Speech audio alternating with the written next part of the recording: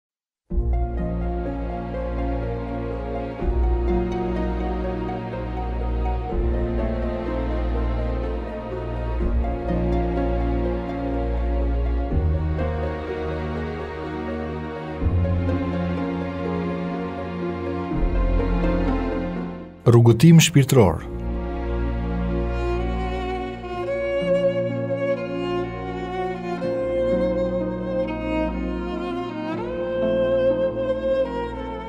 Të nderuar miq të Radios Ngjallja, ja ku po takohemi sërish në emisionin tonë Rrugëtim shpirtëror. Sot do të flasim për një veçori tjetër të shenjtorëve.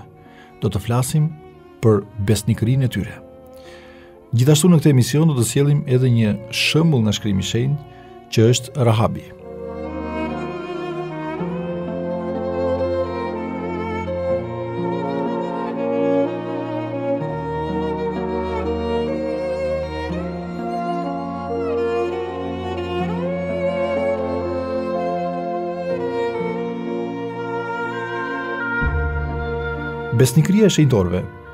Është një tipar i brendshëm, madje i fshehur. Në qoftë se identiteti i vërtetë i Krishtit, Zotit tonë, personi i brendshëm i tij i lindur prej Atit, mbetet një mister i fshehur nga bota, siç na tregohet tek Ungjilli i Joanit, kapitulli 14, vargu 22, diçka e ngjashme thuhet në mënyrë të drejtë për ata të cilët vendosën shpresën e tyre në Zotin tonë Jezu Krisht. Për shkak se edhe ata janë të përcaktuar nga kungimi i tyre me atin në Krishtin.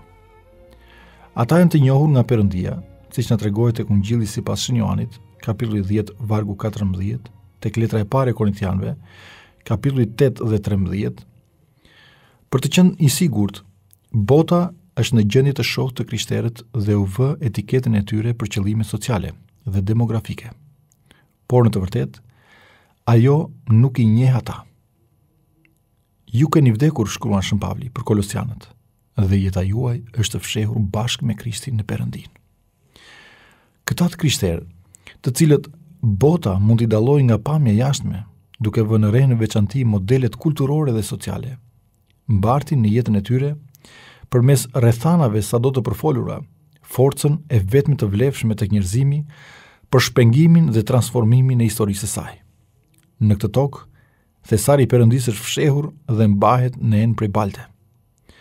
Ashtu si shtambat prej argjili të Gideonit, kështu dishepujt e Krishtit mbartin flakën sekrete që në fund do të fluturojë me forcë mbi midianite. Si rrjedhim, ardhja e Zotit tonë Jisu Krisht në fund të kohës do t'i zbulojë botës jo vetëm lavdinë e tij, por dhe lavdinë e atyre që kanë shpresuar tek ai. Kur të shfaqet Krishti, na thotë ungjillor Joani, jeta jonë Atëherë dhe ju do të shfaqeni në lavdi bashkë me të. Ajo qëndron e fshehur përveç syve të besimit, deri në atë ditë kur kuptimi i brendshëm i historisë është shfaqur. Shumë të dashur, shkroi apostull Joani. Tani jemi bijë të Perëndisë. Por ende nuk është shfaqur çfarë do të jemi, por dimë se kur të shfaqet ai, do të jemi të ngjashëm me të, sepse do ta shohim se si është ai. Për vetë krishterët, kjo e vërtetë nënkupton lutjet praktike të devocionit dhe një jetë të disiplinuar. Si në letrën e apostullit Joan dhe në letrën e Shën Pavlit drejtuar kolosianëve, shpresa e krishterë e zbulesës finale të besimtarit drejton me shpejtësi te tema e shenjtërisë dhe e pastrimit personal. Apostulli Joani, menjëherë pas vargut që sapo cituam, vazhdon të thotë, dhe kushdo që ka shpresën në të, le të pastrojë veten, si është i pastër ai. Dhe këtë na e thotë te letra e tij, pra kapitulli i 3, vargu 3. Gjithashtu Apostull Pavli, menjëherë, pasi u tregonte kolosianëve se jeta e tyre e fshehur në Krishtin, do të zbulohet në ardhjen e tij, i nxit këta të krishterë tek morali radikal dhe i mundimshëm dhe përpjekja asketike. Dhe ja se çfarë na thotë ai. Bëni pra të vdesin gjymtyrët tuaja që janë mbi tokë, kurvërinë, ndyrësinë, pasionet, dëshirat e këqija dhe lakminë që është idhujtari. Ndërsa ata presin zbulesën finale të lavdisë, të krishterët me qetësi punojnë në punën e brendshme të asaj shenjtërie pa të cilën askush nuk do të shohë Zotin. Kjo karakteristikë e fshehjes, që dëshmon jetët besnike të të krishterëve, shpjegon arsyen përse kisha për kaq shumë shekujsh ka kremtuar një festë të përvitshme, atë të gjithë shenjtorëve. Krejt thjesht, ka më tepër shenjtorë sesa kisha e shenjtë mund t'i identifikojë.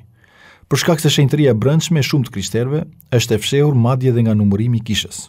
Për shembull, e dimë se kishte shumë gra të tjera, të cilat i shërbenin dhe e ndihmonin Isuin me pasuritë e tyre. Por vetëm tre prej këtyre grave thirren në emër. Madje, dhe për këto të treja, ne nuk dimë asgjë. Gjithashtu, ishin rreth 120 të krishterë duke pritur për ardhjen e shpirtit të shenjtë në mëngjesin e Pendikostisë. Por kisha e shenjtë vetë nuk ruan më tepër se një të dhjetën e emrave të tyre. Kush ishin ata besimtarë të panjohur, tek të cilët shpirti i shenjtë zbriti në shtëpinë e Kornelit? Dhe cilat ishin ato gra të veja që qanin përreth trupit të Dorkas? Kisha e shenjtë kujtoi Antipasin si martirin e parë të krishterë në Pergamo. Por cilët ishin ata të tjerë të krishterë të hershëm në Smirna dhe Filadelfia që patën të njëjtin fat? Kështu ka qenë gjithmonë shumica e shenjtorëve duke jetuar një jetë shumë të fshehur. Kungimi i tyre i brendshëm me Perëndinë, besnikëria e tyre tek vullneti i tij, ishte kaq i qetë dhe i fshehtë, aq sa vetëm ai mund ta dijë. Madje, këta shenjtorë që u njohën nga kisha në brezin e tyre, ishin mjaft të njohur për disa tipare të veçuara nga shenjtëria personale. të tilla si predikimi, shërbesat pastorale ose shkrimet theologjike. Megjithatë, të gjithë shenjtorët jetuan me besnikëri të madhe ndaj Perëndisë. Pjesa më e madhe e tyre janë përtej mundësive tona për t'i përmendur me emra.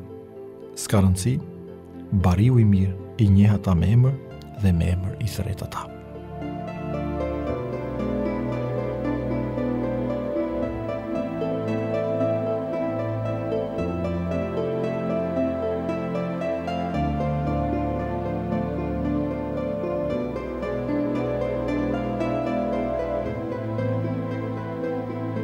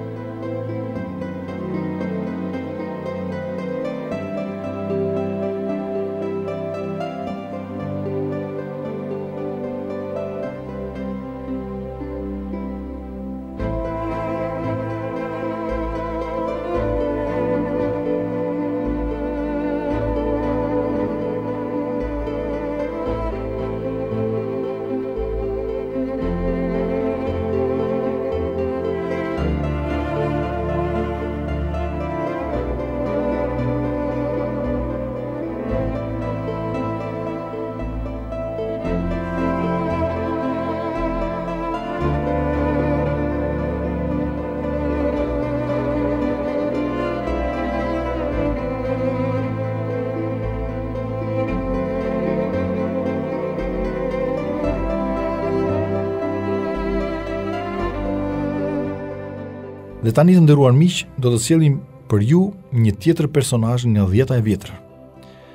Dhe bëhet fjalë për Rahabin dhe zbuluesit.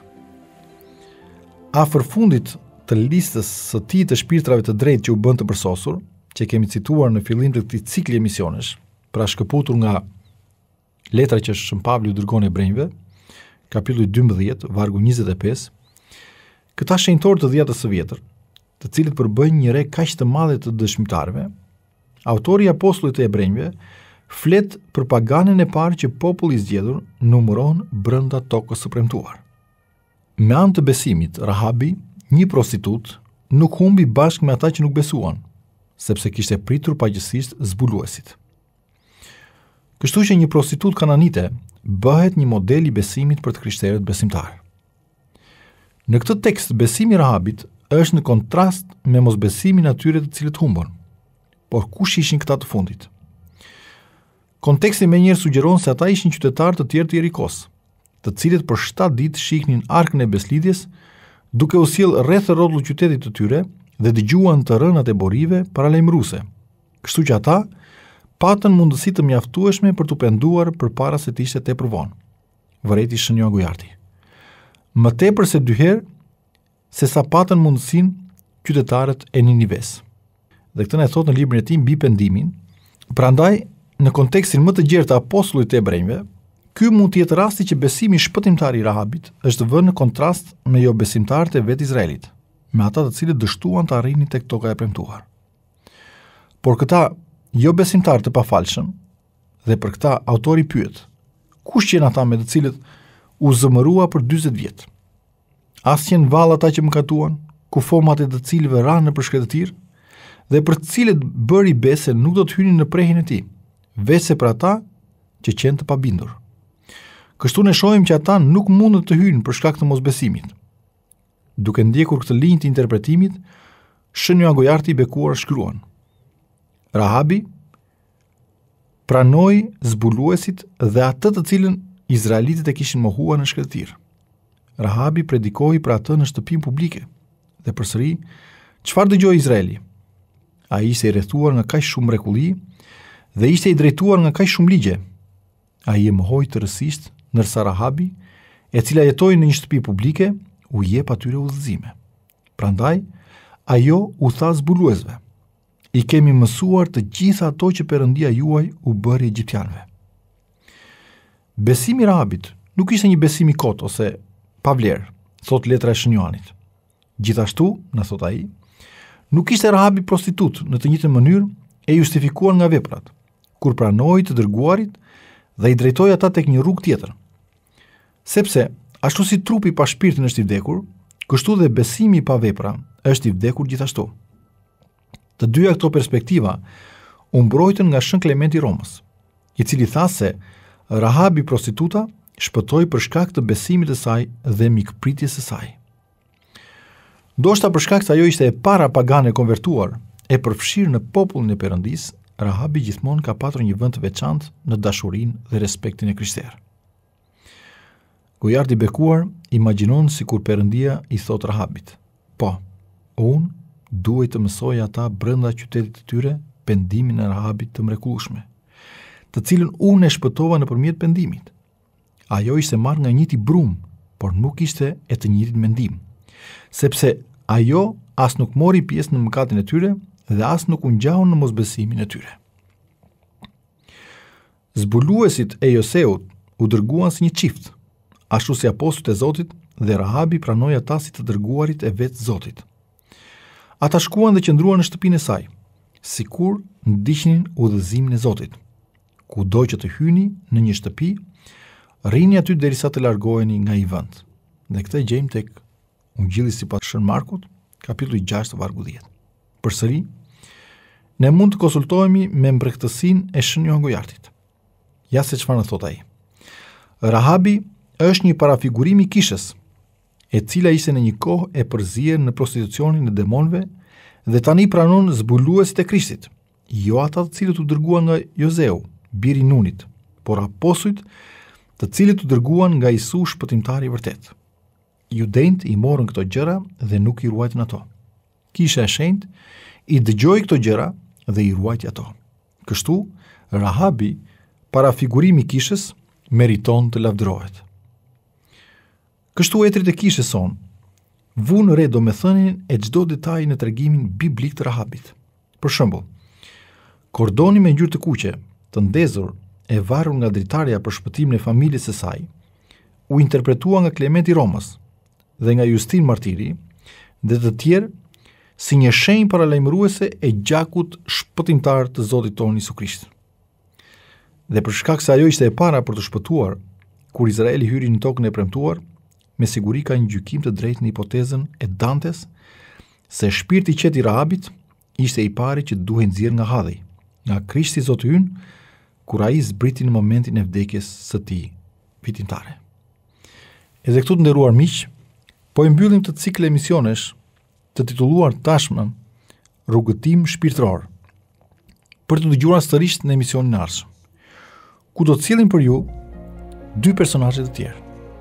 Në pjesën e parë të emisionit do të flasim për Ruthin besimtare dhe në pjesën e dytë do të flasim për transformimin e Naomit. Mirudëgjofshim në emisionin e ardhshëm.